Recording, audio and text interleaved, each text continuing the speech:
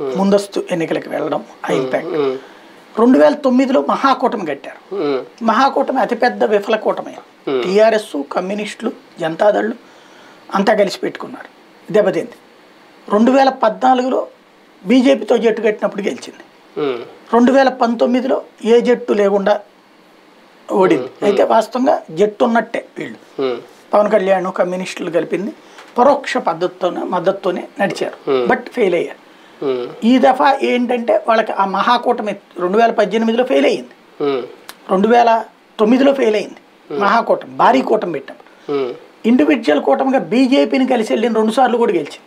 Okay కాబట్టి ఇప్పుడు BJP ప్లేస్లోకి జనసేన వచ్చేసిందని లెక్క కట్టుకుంటాం తెలుగుదేశం పార్టీ. అది ఎంతవరకు సక్సెస్ అవుతుంది అనేది ఇప్పుడు చూడాల్సి ఉంది. తెలుగుదేశం పార్టీ ఎవరి కోసం త్యాగం చేసింది? తెలంగాణలో డ్రాప్ అవ్వడం మీన్స్ కాంగ్రెస్ పార్టీ కోసమే త్యాగం చేసింది. అంతేనా? అది పక్క. బీజేపీ జనసేన కూటమి కోసం కాదా? వాళ్ళ కోసం అయితే కనుక వాళ్ళకి మద్దతు అని కూడా ప్రకటించేదిగా కానీ కాంగ్రెస్ పార్టీకి అయితే చివరికి జెండాలు పుచ్చుకుని తిరిగారు కదా పూర్తి స్థాయిలో. దాంట్లో.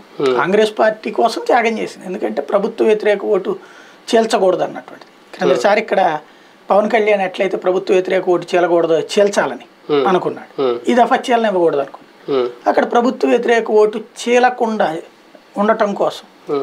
అది పూర్తి